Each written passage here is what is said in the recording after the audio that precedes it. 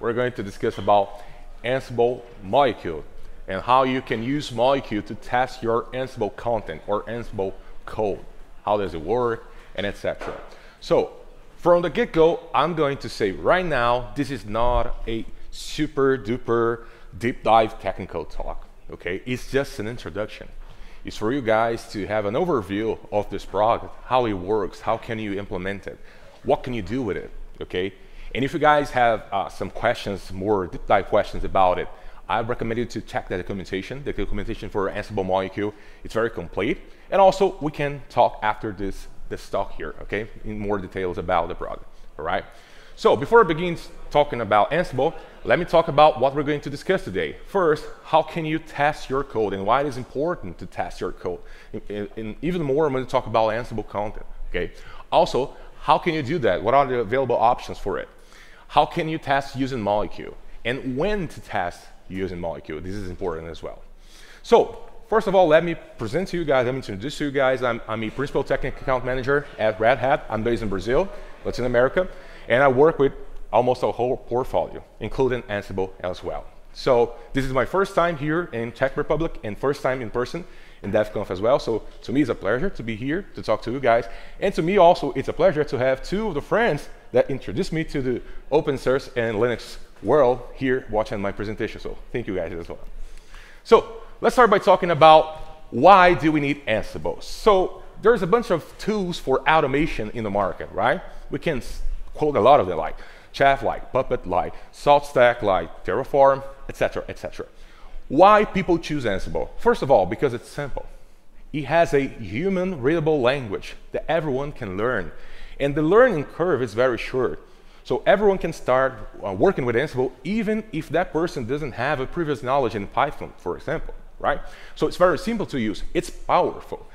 The Ansible community is very huge from a lot of contributors, not only in the community, but also in the companies, from the vendors like Microsoft, Amazon, Cisco, F5, VMware, etc., etc., etc. Also, it's agentless. That means that we don't need a daemon. We don't need a client because most of these automation tools, they use like a client server model where you need to install a daemon inside a host so that master or the config engine of that tool can manage that host. That's not the case with Ansible. We all know that, right? We use SSH to uh, get into our host and do whatever you want. So Ansible itself has a lot of benefits, and these are uh, uh, quite of a short list of the benefits that we can take from using Ansible, like simplifying, streamlining, or configuring management. It's not the focus of Ansible itself, but it can do that as well, okay? We also recommend to use Ansible in day two operations, but it can also be used in day one, okay? It also has improved efficiency and productivity when used correctly, of course, security, compliance, etc., etc., etc. But I'm not here to do marketing about Ansible. I'm, I'm here to talk about how you can see or perceive these benefits using Ansible. And the answer is quite simple. You need to test to fully realize these benefits. Why?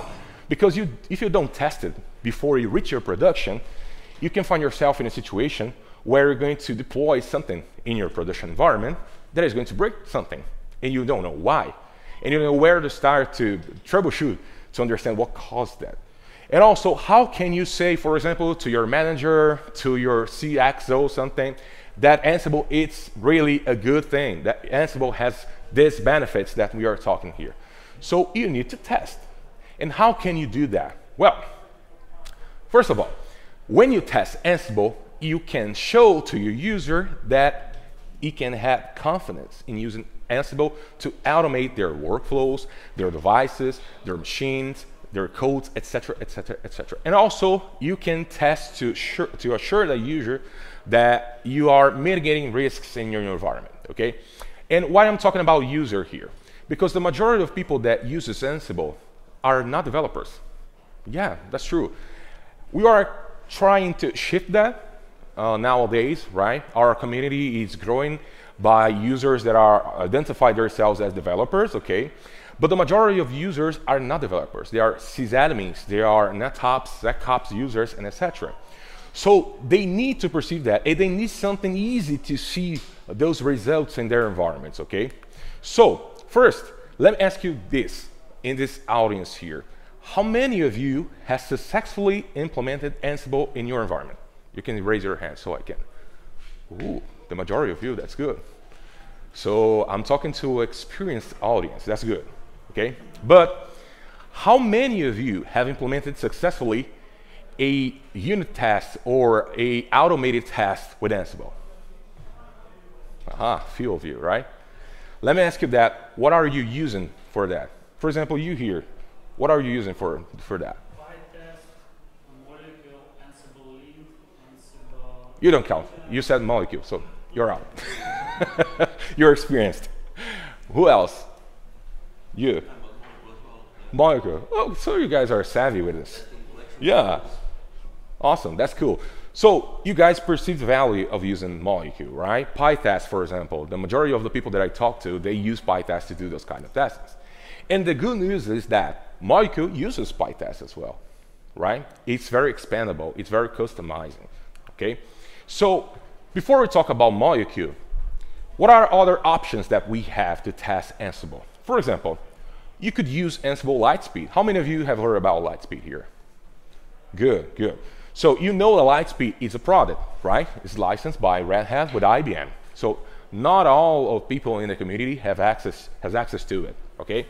But for the Red Hat users, you could use something like uh, Ansible Lightspeed with the power of intelligent artificial, artificial intelligence, right? To write your code. But the problem with that is that Ansible Lightspeed will not check the outcome of your code. It's going to recommend to you how to write your code.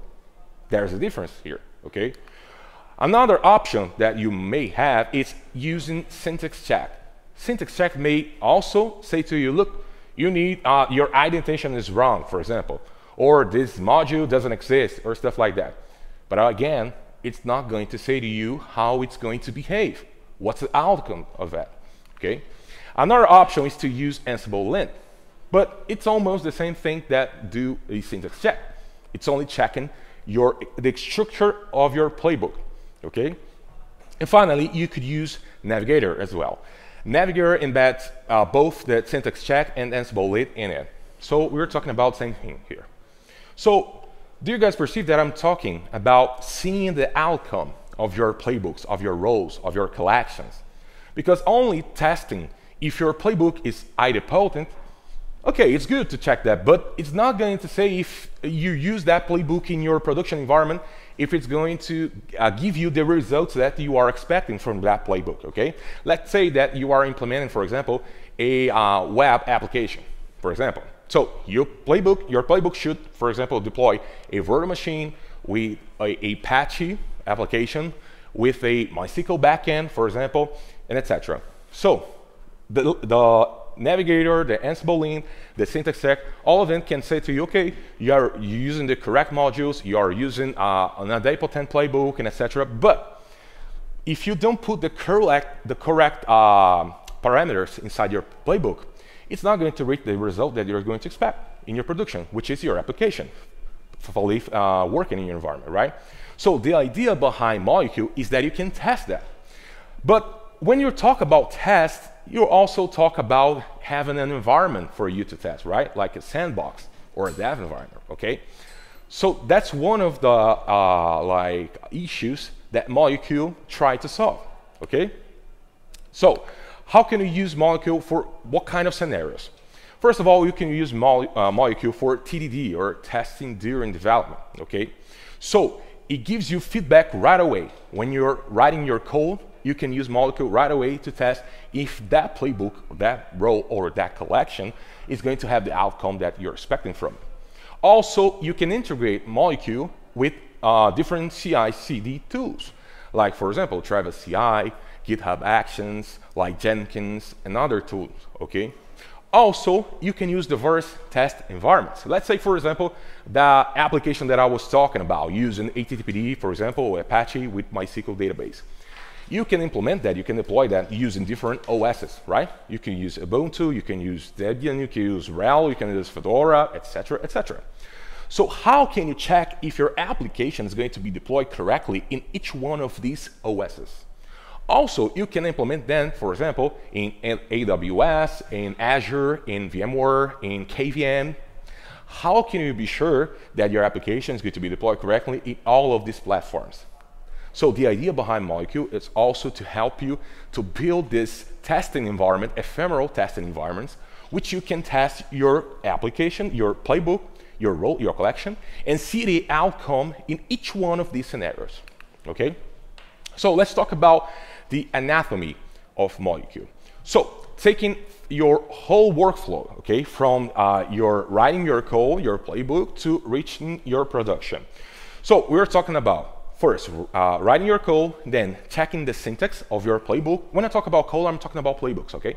So checking the syntax of, this, of that playbook, then doing unit or functional system tests with these playbooks, then building that. You can use, for example, a custom execution environment for that. You can publish those execution environments in a registry, like, for example, Ansible Hub. Then you can build your testing environment and that in that phase is where molecule enters. Then after that, you can push that to production and finally deploy in production. So Ansible molecule is going to take uh, this place in this phase where you can test before reaching your production environment. That's the idea here. So let's talk about now some concepts that surrounds the use of molecule. When we talk about molecule, first of all, we talk about scenario. What is a scenario?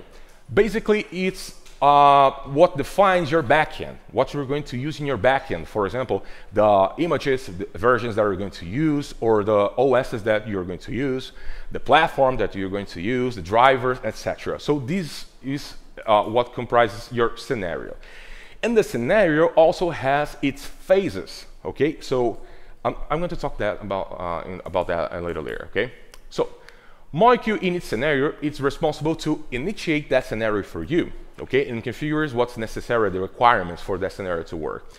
Then you define an ephemeral test environment based on the drivers, for example, and Molecule, it's comprised of different drivers like Podman, Azure, EC2 for Amazon, etc., etc.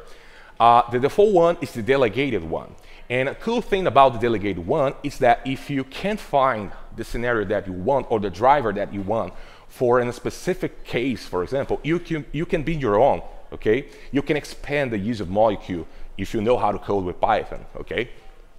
Also, it creates, destroy, recreate, etc., all these environments for you automatically. Also, you can test not only roles, uh, if you guys are aware, for example, you guys here in the front that told me that you work with molecule already, you know that until molecule 5, if I'm not mistaken, it was only possible for you to test roles, not collections. With molecule 6, it's now possible to test your collections. That's a good thing, you know? Also, it uh, runs uh, idempotence tests and also syntax checks for you during the, the test phase of your whole scenario, okay? Now talking about the anatomy, I was saying that a scenario is comprised of different phases, okay? So the first phase of molecule is the dependency one. In the dependency one is going to check, oh, for the dependency it uses Ansible Galaxy, okay? So it's going to check if the dependencies that you set up for your environment are there. Any collection, any other playbook or role or etc. Okay, so it checks that for you. Then it creates your environment and this environment can be anything. For example, for the demonstration that I prepared for you, you're going to see that I prepared an environment that simulates a VM, but by using containers, okay? So it creates that environment for me, my containers, for example, and then it converges. What it does here in the converge part.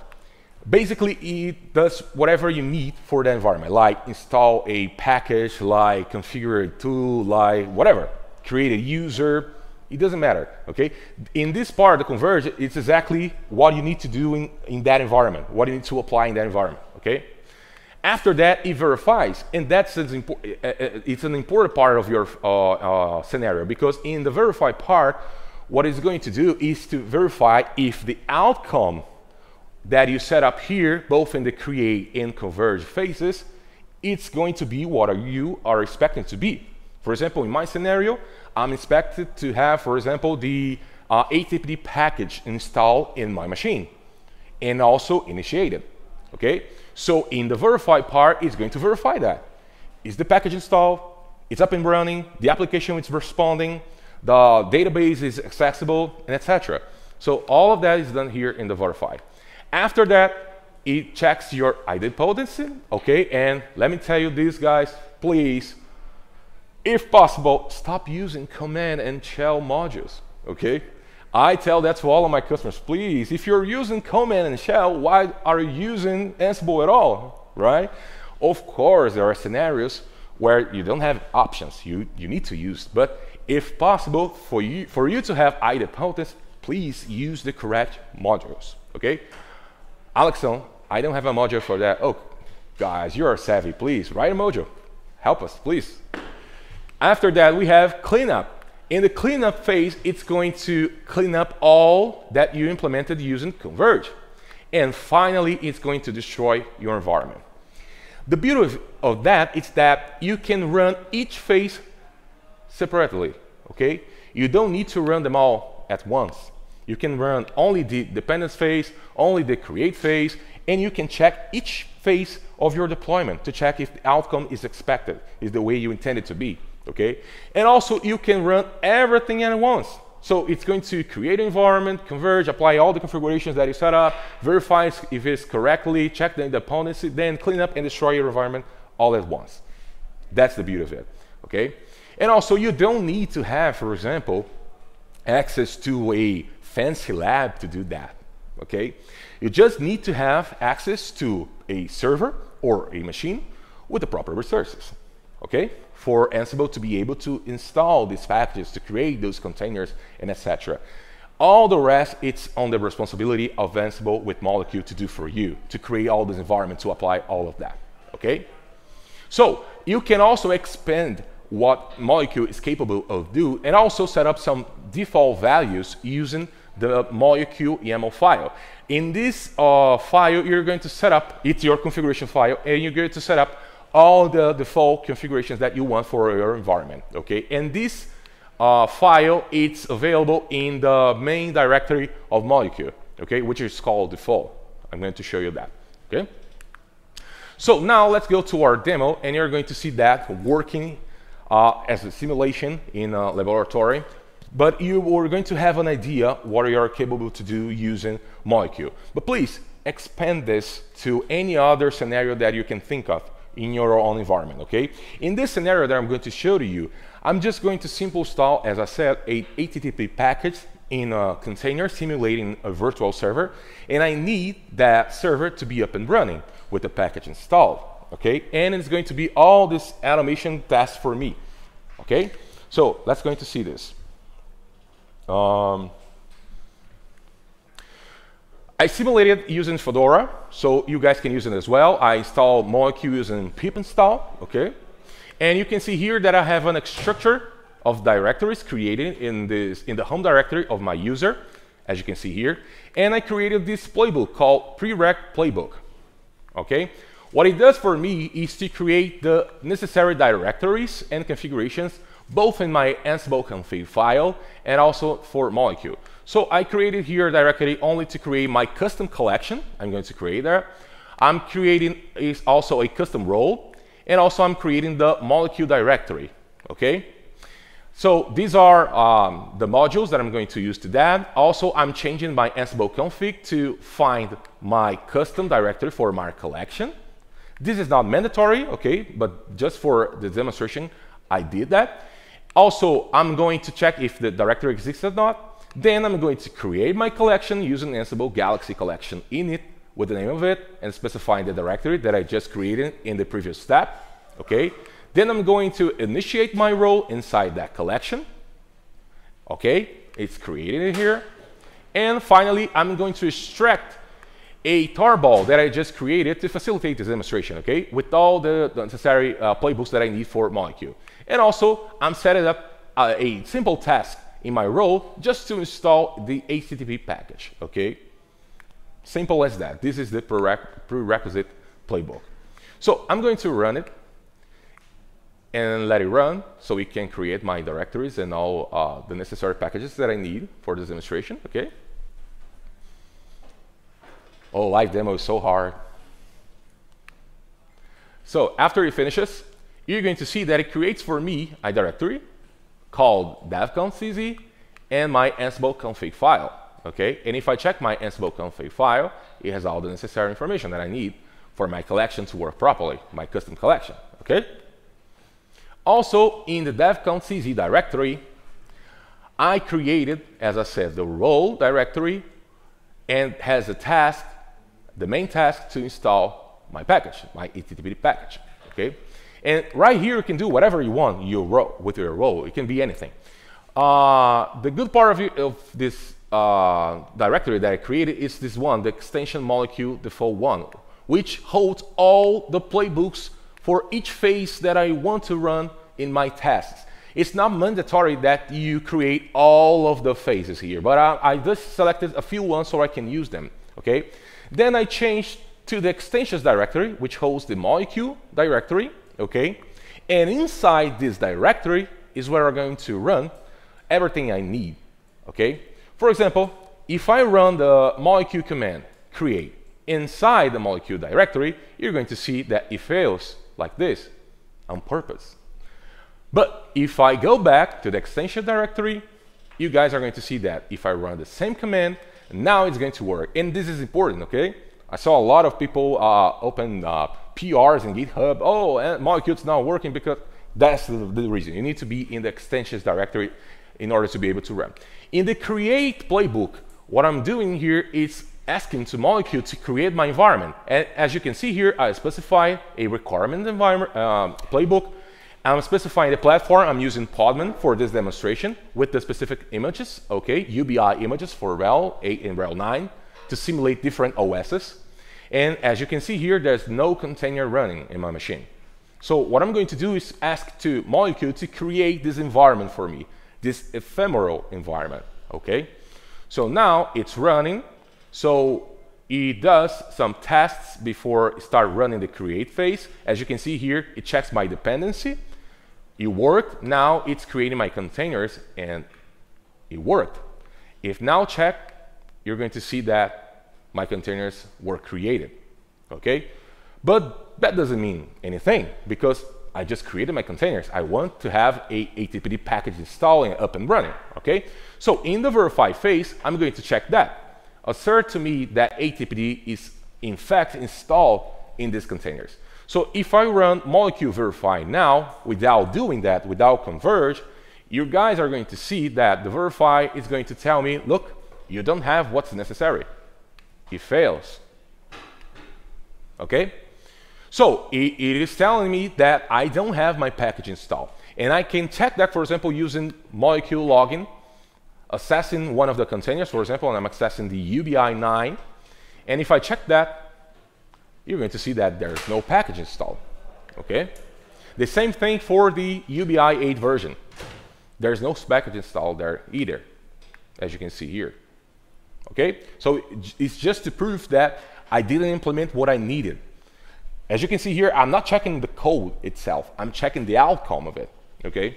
So now what I'm going to do is I'm going to run converge to call my role, to execute my role, and to install the package that I need using my example web install Apache role. So I'm going to run molecule converge, and molecule converge is going to be responsible to access my container images and install that package for me.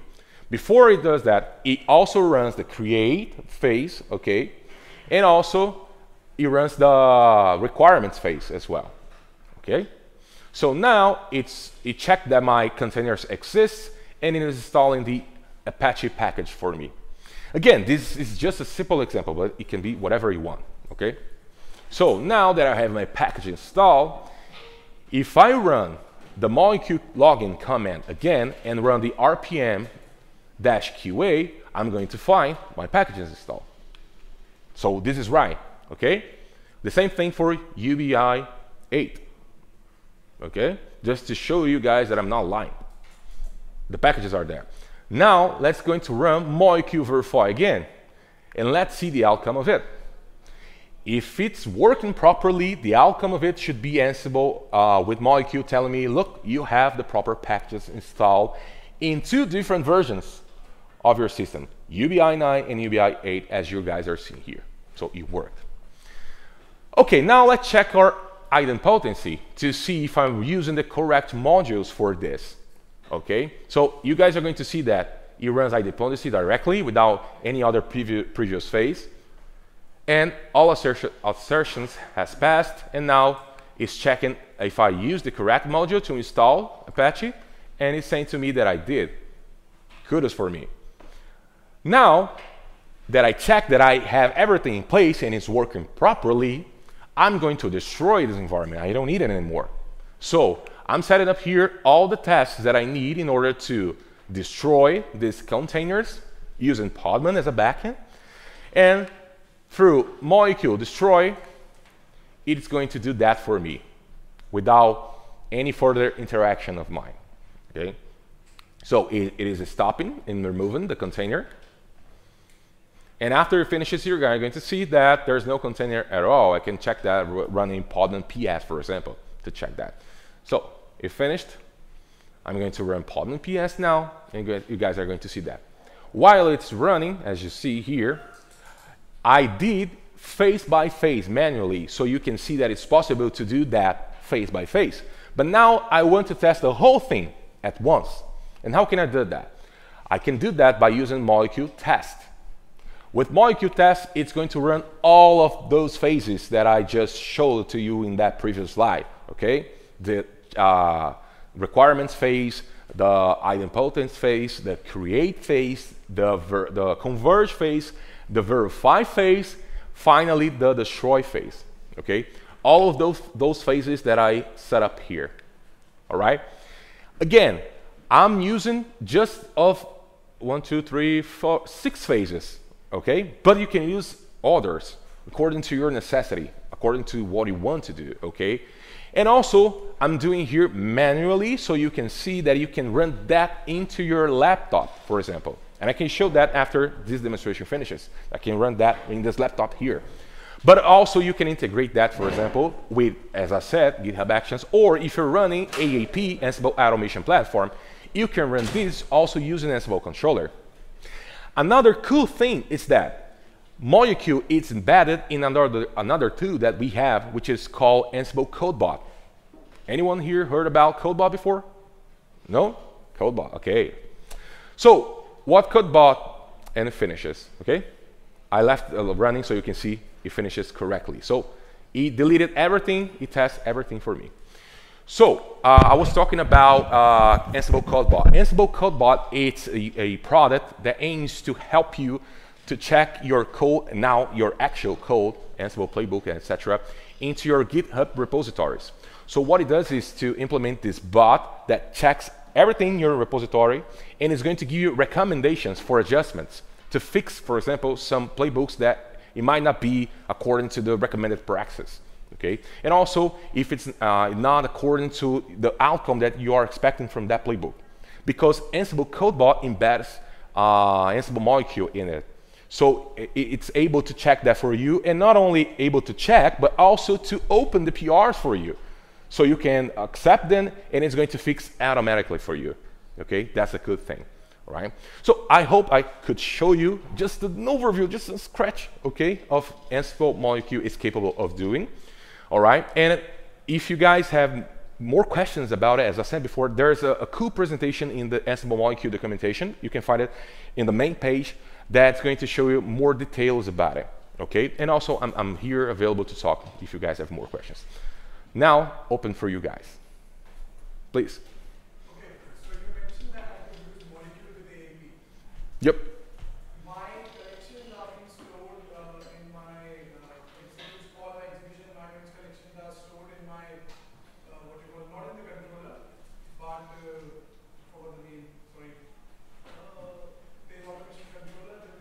Ansible Hub? Ansible Hub, yeah. Okay. So in that particular private automation hub, Mm-hmm. if I want to run this particular entire test suite, The, it depends. What, what do you want to do, for example, in this scenario? Specifically, what do you want to do in this scenario, for example? I would want to test let's say we have a huge internal teams which are using our AAP platform and they are writing all these Ansible playbooks and there is no test scenarios for them. There is no testing or unit Mm-hmm. We're trying to implement it. We actually try to implement molecule in the past, but it didn't work out very well. Okay, so let me tell you this. There, there's a good thing about molecule. Uh, I didn't mention here in this presentation because the focus was to show the, to the, the sysadmins, the platform guys that you can run in, in your laptop. But Red Hat has an idea of, of using Ansible Molecule integrated with Kubernetes, with uh, OpenShift, for example, and AAP. Because the idea is that you integrate Molecule with OpenShift dev spaces. And in the OpenShift dev spaces, you- you're going to have what is necessary for you to build those ephemeral environments integrated with Automation Hub and controller. So the idea is that you, for example, you have your code in GitHub, for example. You integrate that with dev spaces. It's going to check for you all of your playbooks, collections, etc. It's going to trigger uh, in your controller a job template, okay, that is going to run and ask Molecule to create what you need inside OpenShift that's, that, using dev spaces. Or you can do that directly through dev spaces using a module for uh, Visual Studio like this, okay? So there's a, a, bunch of different scenarios. But the idea is that for this type of environment, you don't need to set up uh, something in your laptop, for example. You can use a existing platform for that, like OpenShift. So that's the idea, okay? Any further questions? Please. Um, maybe maybe a, question from another point. So we've been using Molecule for quite some time, over two years now. And uh, if you are using uh, or do you have any recommendations maybe for for some advanced usage or st file structure? Because if you're using Ansible to test your your uh, Ansible uh, verifier with, for example, uh, one of the container drivers, and you are developing your own containers to, to run it onto, uh, how do you structure then your collections and your roles and the tests yeah, inside? Because what we found out is uh, especially uh, uh, recreating or shadow creating big portions of our roles inside uh, extensions molecule folder is working but uh, suboptimal. Do you have any examples on that maybe? Okay, so you mean that uh, you don't want to put all your work inside that that directory No, because no, no, it's, it's okay, but like, is there a way maybe to extract some common patterns and just just uh, focus on some of the differences in the scenarios, or do you have any examples for, for the larger collections being tested with uh, molecule? Yeah? It makes sense your question. Uh, I cannot give you an example right now, but I can think of something. For example, Jeff Geerling, I think in the Ansible molecule documentation, he gives an example of doing exactly something like that. I don't have the details now, but we can we can uh, see it together after this presentation, because I think it's almost what you're saying right now. Using, uh, for example, uh, it don't uses exactly the same directory for that, and also it don't uses uh, the the let's call the structure that is required for molecule, like I showed you here, but it uses a CI tool that does that for him. Okay, so I can show you after this presentation, and you can tell me if it works or not for you. Okay, please. Uh, so you showed doing your, your uh, role testing in Bitcoin containers. Um, I have a bunch of roles that can't easily be tested in containers, um, so I need VMs for that.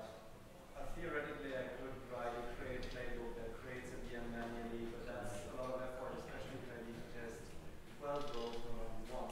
Mm-hmm. Is there some kind of um, better automation to essentially do what you just did, but um, do it in a freshly booted VM? Yeah, as I said before, Ansible Molecule uses drivers. Okay, each one of these drivers aims to work with a different platform or backend, for example. Uh, let me show you in my machine, for example, uh, my terminal here. Okay, so if I run Molecule drivers, you're going to see that I have here, just in my machine, drivers for Azure, container, Docker, EC2, OpenStack Pod, etc., etc. Okay, so uh, I used pip to install Molecule, and you can use pip uh, uh, with the parameter for specify which driver do you want to install. In my scenario, for example, I use it to install Podman, this one. Okay, but you can use the other drivers available for you to create virtual machines in the platform that you want. And also, as I said before, if uh, there is no driver specifically for your scenario, you can create a code that can implement that using Molecule. Okay, it has this. It's versatile. in terms of what you can do with him. But basically, he has those drivers that you are seeing here that is going to create those VMs for you in the backend that you already have specified for Molecule to access. For example, VM or, or Amazon, whatever. Okay. Yeah, but you know, this this actually proves my point because all of the ones that are capable of starting VMs are either in the cloud or they're Vagrant, which is essentially dead upstream, right? Yep. That, yeah. In this case, uh, Vagrant is going to use a VirtualBox, right? Uh, containers, containers does this almost the same thing that a Podman, okay, and Docker, okay. And the other ones are, yeah, basically for cloud providers, yeah. But you can use, as I said before, if you have knowledge to, it's necessary in this case uh, to build the code for you to be able to use the delegated driver, for example, to access another platform that's not covered here by the default drivers, okay. Anyone else? I'm sorry, we are, we are out of the time. Oh, okay, okay. Sorry, sorry. So, thank you guys. We can discuss later. Thank you.